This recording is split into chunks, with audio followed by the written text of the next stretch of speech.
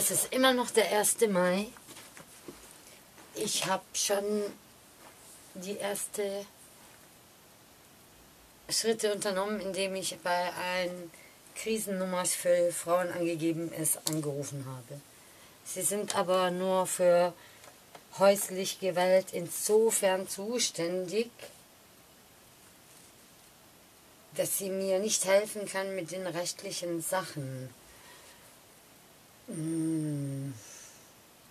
Es ist ein bisschen kompliziert, weil was hier stattfindet, ist auf jeden Fall Gewalt an Artisten, egal ob männlich oder weiblich, und zwar in höchster psychischer Form bis körperlich. Nächster Schritt ist für mich Krisendienst anrufen, um zu fragen, ob sie psychologische Betreuadressen haben, die nicht jetzt unbedingt super krisenmäßig sind, weil ich melde mich davor. Und dann bei der Polizei anrufen und mich zu informieren, wie ich mich morgen verhalten sollte. Meiner Meinung nach, und da, nicht Meinung, vergessen wir die Meinung, die zählt hier gar nicht. Meinen Recherchen nach und Informationen nach und wie ich juristisches Deutsch verstehe. Mag sein, dass der Mietvertrag gültig ist, aber er kann sich nicht über die Verordnungen hinwegsetzen. Jemand, der kein Sozialgelder nimmt und auch nicht aus dem Kulturfonds sich ernährt, ist mal zwei Monate hinterher. Das ist klar. Die zwei Monate wird er ja auch bekommen vom Amt. Ich habe einen Antrag gestellt und habe um Hilfe gebeten und auch um die Kostenübernahme der Miete, die ich hier schuldig sein werde bis 30. April. Ich hielt persönlich das für einen angemessenen Ort für mich. Das ist mein Zuhause seit fünf Jahren, mein Atelier. Ich brauche keine Küche, kein Herd, kein Wohnzimmer. Ich brauche Arbeitsspace. Und nun geht's weiter. Fuck. Aber es ist verdammt kompliziert, unter diesen Umständen zu kommunizieren überhaupt, egal ob die persönliche Kommunikation oder die Kommunikationstechnik. Krisendienst. Ich dokumentiere das mal auch mit dem Krisendienst.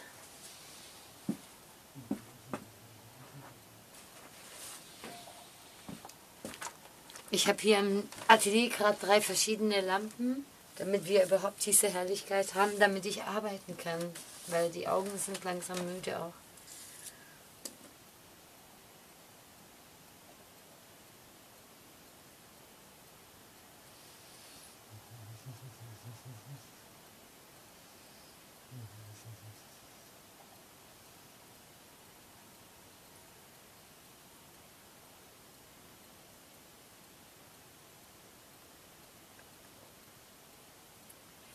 Das müsste die Stelle in Temp Tempelhof sein.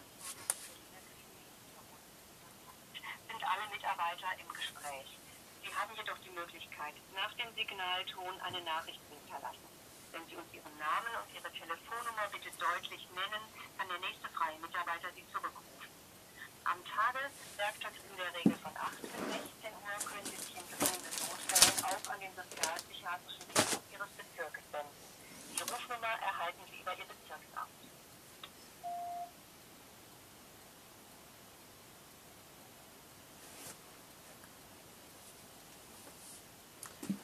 Okay.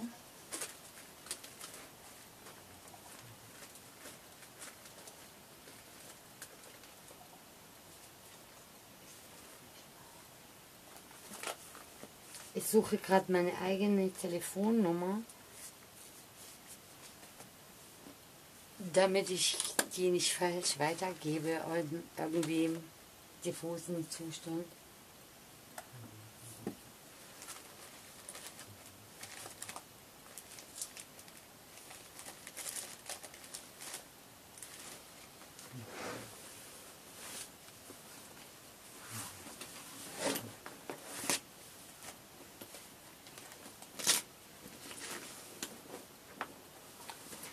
Das dauert eindeutig zu lang, also rufe ich nochmal an.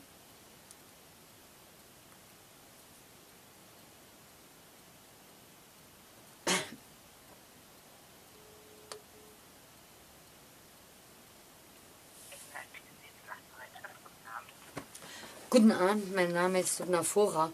Sind Sie zuständig vom Bezirk Tempelhof? Ist das richtig, die Nummer, die mir gegeben wurde?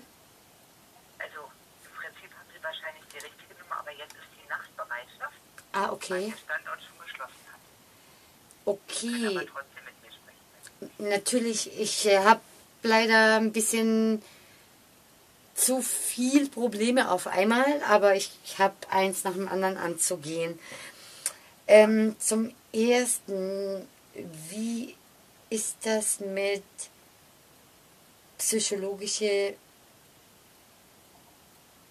äh, Begleitung? Weil ich denke, dass ich sie brauche, um meine Kraft einfach beizubehalten. Ich bin eine Künstlerin in dieser Stadt. Ich bin seit fünf Jahren in einem Gebäude mit ganz viel Künstler, auch ZDF, Büro und Herzautovermietung und viel seriöse Sachen. Auf jeden Fall bei uns wird irgendwie im Haus seit Jahren gentrifiziert. Das ist nicht das Thema jetzt. Im Januar wurde eine Kündigung ausgesprochen, die wir akzeptiert haben hier in diesem Part. Ich bin nicht die einzige betroffene Artistin. Ähm, was uns dazwischen kam, ist natürlich auch das Shutdown. Ich persönlich wei- wusste, dass der 30. April mein letzter legaler Tag oder laut Mietvertrag, ja, und der 1. Mai zu übergeben. Nun habe ich das Problem aber, dass ich seit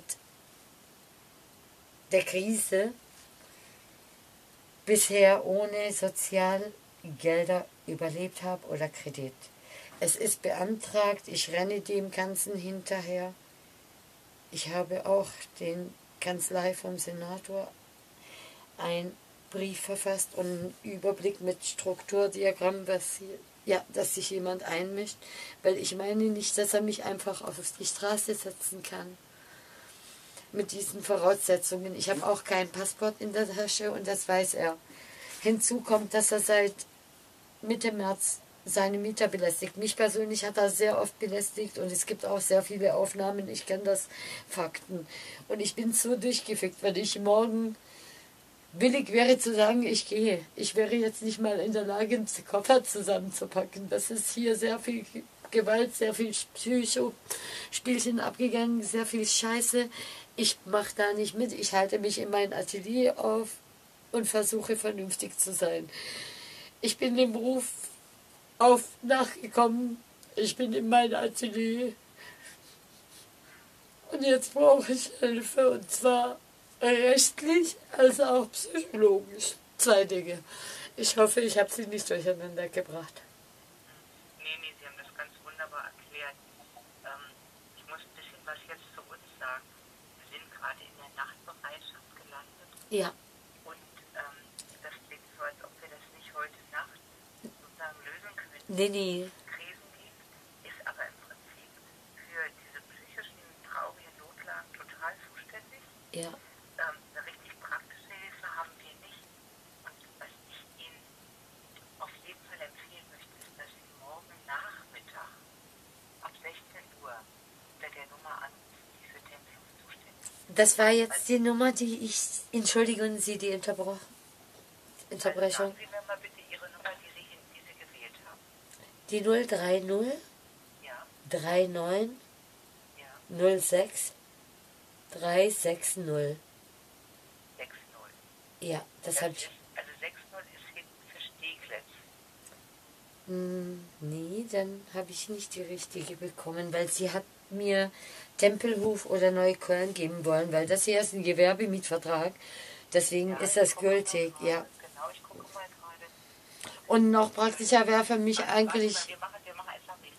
Also Neukölln, mhm, das wäre für mich am einfachsten, weil ich mich da auch gut auskenne und so, dass ich nicht viel Kraft brauche zum Gucken. also Neukölln, erstmal ist die Karl-Marx-Straße. In der Karl-Marx-Straße, das ist die 9-0.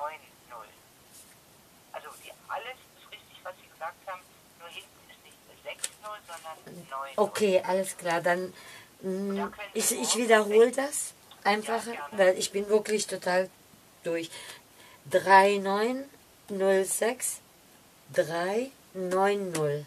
So ist Ja, danke schön. Genau. Ja, Genau. Karl Marx. Und die Probleme, die Sie eben ganz kurz Mhm. geschildert haben, und ich will auch Ihre Verzweiflung, ähm, die sind auch wirklich weitreichend. Und ich glaube, dass der Krisendienst Sie vor allen Dingen unterstützen kann, in dem, was, wie geht es Ihnen, wie können Sie, wie können Sie Kraft finden, wir machen Das weiß ich, das weiß ich. All diese Dinge weiß ich wirklich, aber ich weiß, weil ich bin jemand, wir sind hier sehr viele Artisten im Haus.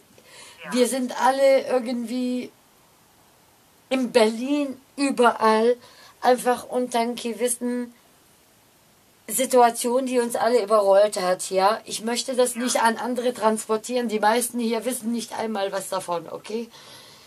Ich bin jemand, der immer auch Motivation und Lächeln schenkt, egal wie viel Scheiße an mir hängt. Aber ich weiß, ich ziehe mich seit Tagen zurück und hinzu natürlich erschwert die Situation, dass unser Vermieter uns wirklich wochenlang jetzt terrorisiert hat. Ich habe sehr viel dokumentiert. Das ging schon vor dem Shutdown los, ja. Und ich habe ihn auch darauf hingewiesen, das hat nichts mit Corona-Krise zu tun, dass er kein Recht hat, weder in einem Miethaus noch im Gewerbehaus das zu machen, weil der 30.04. ist der Ausdruckstermin. Bis dahin war aber die Kraft schon geraubt. Sie müssen sich vorstellen, ein anderer hier hat schon Angst, dass er, weil er hat die Leute bedroht. Ich habe die Artisten alle interviewt und die sind mit Gesicht und mit Einverständnis. Das geht gar nicht, was hier abgeht. Und das ist ein Haus, wo sehr viel auch schon ge- vorgefallen ist. Er ist mit der Presse in Kontakt. Ich versuche mein Möglichstes, aber ich will die Kulturinstitutionen, die helfen können mit Ateliers und Räumlichkeiten anschreiben. All das kann nicht irgendwie in ein paar Stunden unter diesen Umständen. Wir haben keinen Strom, wir haben keine Toilette, wir haben kein Wasser. Er hat innerhalb von zwei Tagen allen Artisten, wo er bis vor, weil vor sieben Tagen hat er uns wirklich überfallen, damit so nach dem Motto, nichts geht mehr und auch keine Verlängerung, weil es war ja nicht klar, wie es weitergeht. Alle haben einen Raum gekriegt bei mir. Ich suche das Gespräch und eine Lösung. Und er sagt zu mir, fick dich. Das ist das, was Sie in der Kamera hören, okay? Das ist sein Verhalten. Und dann haben wir jetzt ganz viele neue im Floorbereich drüben, wo ich aufs Klo gehen könnte, weil die Toilette hat er abgeschlossen. Ich habe kein Wasser, ich habe keine Toilette, ich habe kein Internet. Das ist scheiße, Mann. 22 Leute, davon kenne ich 80 Prozent nicht, weil sie neu sind. Ich will niemandem gegenüber meinen Stress zeigen oder doof sein oder sonst wie, aber es fehlt mir. Es gibt ein paar, was fürs Haus arbeitet, Renovierung, Putzarbeiten, sonst wie. Die sind jetzt auch neu da seit zwei Tagen und das ist die einzige Frau, aber das sind ein Pärchen. Und als Frau fühle ich mich gerade auch nicht unbedingt sehr wohl und ich will auch nicht zu Unruhe beistiften. Weil ich meine, das hier Methoden hat, Gentrifizierung. Ich bin hier seit fünf Jahren, dreimal wurde das Haus verkauft. Aber mein Problem ist wirklich am größten, ja, psychologische Betreuung in dem Sinne, dass ich sage, jemand, der mich entlastet, der mich begleitet zu Terminen, was mir gut tut, das weiß ich hundertprozentig. Der Krisendienst wird Sie nicht zu Terminen begleiten können. Mhm. Das, das, ist, das ist so, dass Sie mit uns telefonieren oder auch gegebenenfalls kommen können. Aber vielleicht können Sie mit den Kollegen zusammen gucken, ob Sie für eine gewisse Zeit eine Begleitung kriegen. Dann müssten Sie zum sozialpsychiatrischen Dienst gehen und sagen, es geht mir wirklich sehr, sehr schlecht und im Moment. Das nennt sich sozialpsychiatrischer Dienst, ja. Genau. Ja. Und ich brauche jemanden, der jetzt äh, eine Weile einfach mit mir ist. Ja. Einzelfallhilfe oder betreutes Wohnen, Mhm. unter welchem Label das läuft. Aber sowas gibt es. Also das ähm, muss man dann beantragen. Aber da können Ihnen die Kollegen spätestens auch äh, mehr Auskunft geben. Das ist schon mal auf jeden Fall ein super Info, ja. Und ich meine, dass das das Wichtige ist, dass mich was, dass irgendwie eine Entlastung kommt. Mir gibt meine Arbeit viel Kraft, was ich tue, viel Kraft. Trotz der ganzen Scheiße suche ich neue Wege, neue Ideen, mich bewegt das. Ich lebe in Berlin, ich liebe Berlin, ich schreibe Lyrics. Aber wenn überhaupt gar keine Ruhe mehr kommt und total, ja. Und, ja. und im Moment habe ich nicht mal einen Personalausweis in der Tasche und das weiß er. Ich habe schon immer meine Miete bezahlt, fünf Jahre lang, ohne jemanden zu brauchen. Das Vertrauen, weißt du, das kann ich hier. Ja, 2000 Artisten waren im Haus, das bestätigen. Ich habe auch noch nie jemanden irgendwie groß ausgeliehen oder ja, ich normalerweise wäre ich in der Lage, mir selbst zu helfen, Job suchen, Gastronomie, sonst was, wenn ich in Not wäre, ja. Aber im Moment ist gar keine Kraft da. Das heißt, wenn sie mich morgen, wenn, aber ich denke nicht, dass die Polizei das machen wird. Das denke ich nicht, nein. Laut Information. Aber es ist bescheuert und der hat sich einen super geilen Zeitpunkt ausgesucht. Mai und Wochenende. Da erreicht man wenig. Ja, und dann haben sie uns schon im legalen Datum das Internet weggekattet. Ich habe gestern für eine Mail zwei Stunden gebraucht.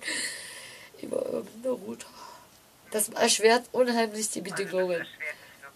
Ich brauche auch psychologische Betreuung, aber für mich ist eins nach dem anderen angehen. Und das Wichtigste ist für mich geschützte Via-Räume. Und das ist egal, ob ich das für mich als Pause nütze oder arbeite. Ja. Das ist das, was mir gut tut. Ja. Nein, ich brauche keinen Wohnraum, ich brauche ein Atelier, weil wenn Sie mein Leben hier sehen, werden Sie sehen, ich besitze nur eine Kaffeetasse und Kaffee und ja, ja, weil ich nehme in Kauf, auf dem Boden zu schlafen. Und das hier weiß auch die Stadt Berlin. Das wird seit Jahren. Das weiß die Stadt Berlin. Wir gucken über alles hinweg. Ist es okay? Ich muss denen das nicht erklären. Aber ich weiß, dass das eine Situation ist, wo man sich nicht über Verordnungen hinsetzen kann. Und in meinem Fall ist das nicht möglich. Ich kann nachweisen, und das sind nicht Freunde, sondern ist ein Businessman. Ich wäre umgezogen wäre das nicht dazwischen. Ich hätte ein Atelier. Meine Aufträge fallen weg von den Restaurants. Das kann ich auch nachweisen, weil wenn sie aufmachen, ist nicht klar. Und wenn sie aufmachen, werden sie bestimmt mich als erstes Künstler bezahlen. Ich habe auch Ideen für mich, aber all das ist nicht wichtig jetzt. Ich brauche juristische Hilfe und jemand, der mich entlastet mit dieser Kommunikation, die einen abfängt. Das ist ein Kindergarten. Ha?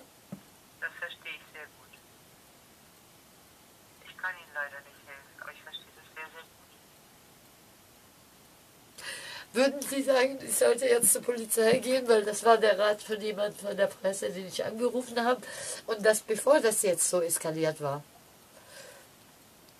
Hingehen.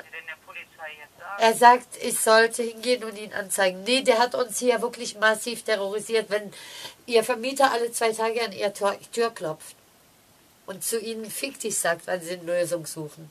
Was ist das? Wenn er Artisten bedroht, wenn er ihnen Schlüssel wegnimmt. Und hier sind mehrere betroffen. Ich bin nur eine der wenigen, die sich wehren. Oder was heißt wehren? Die sich nicht gefallen lassen, weil ich keine andere Möglichkeit habe. Hätte ich einen Cent, würde ich mir ein Lager anmieten.